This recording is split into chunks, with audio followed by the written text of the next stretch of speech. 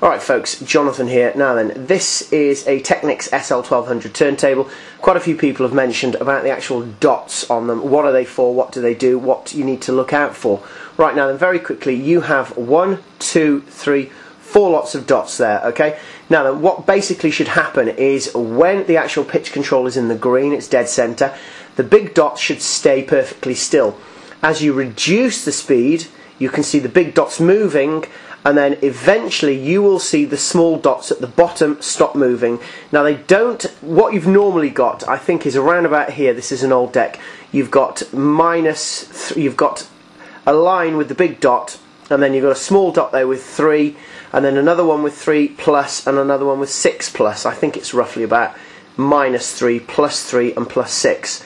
Now basically what it means is it's a rough guesstimate, a rough, rough estimate, and that is that when the actual dots underneath the big dots are staying still, that means that you're roughly at minus 3% of the actual speed.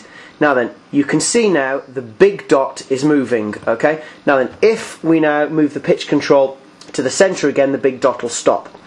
Now then, the opposite applies here. When we start to speed up the actual pitch control, you'll see the next line of dots stop, as you can see like so. Now some people say that, oh, it says plus 3, and when they look at the pitch control, it may be at plus 4, 4.5, maybe even at plus two and a half. Now don't panic about that because it only gives you a general idea anyway. And then likewise then when we go faster again you can see the last lot of dots staying still which is roughly about plus six. Now again a lot of people say well on the actual slider it's not at plus six. Well again it's just an idea, it gives you a general idea. Now the one thing you have to look out for to make sure that your pitch is working, working perfectly is this.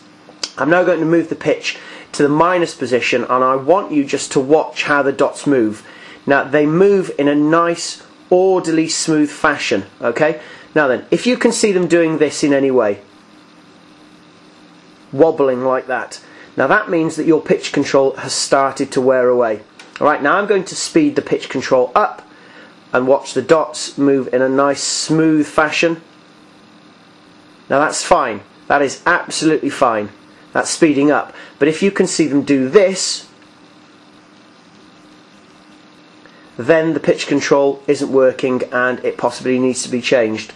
So a basic idea on what the dots are for and what they do with regards a Technics SL1200 turntable. Hope that's been a help. Thanks for watching. Practice and enjoy.